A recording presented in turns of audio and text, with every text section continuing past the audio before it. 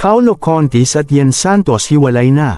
Welcome back sa SMP TV Updates.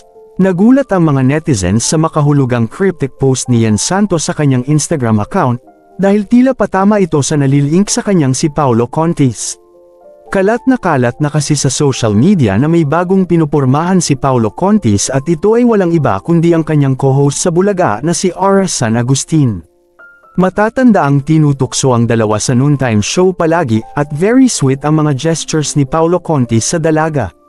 Ayon nga sa isang reliable source, may out-of-town show si Ara San Agustin at nagulat ang mga production dahil hindi nila akalain na nandoon din si Paulo Conti sa nasabing lungsod.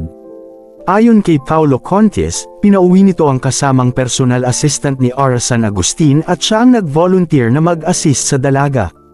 Kahit na nga daw sa backstage ay palaging nakaalalay si Paulo Contis at hindi maalis sa tingin niya si Aura San Agustin. Ayon sa mga staff at mga kakilala ng dalawa, napansin nilang binabakura na siya ni Paulo Contis at hinahatid palagi pagkatapos ng taping.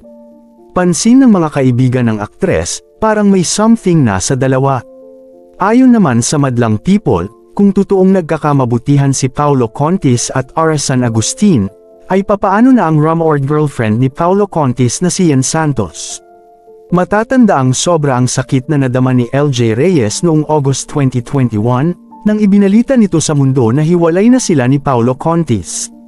Si Ian Santos nga ang babaeng ipinalit ni Paulo Contis kay LJ Reyes at sobra ang pangbabash na natanggap nila noon nang isa publiko nila ang kanilang relasyon. Samantala, pinayuhan si Ara San Agustin ng mga netizens na huwag sayangin ang karir nito at mag-focus na lang sa hosting at pag-arte. Malaki kasi ang potential ni Ara dahil magaling itong umarte at napakagandang bata pa nito. Malayo pa daw ang mararating nito sa showbiz world. Anong masasabi ninyo sa balitang ito? Comment down below. Maraming salamat.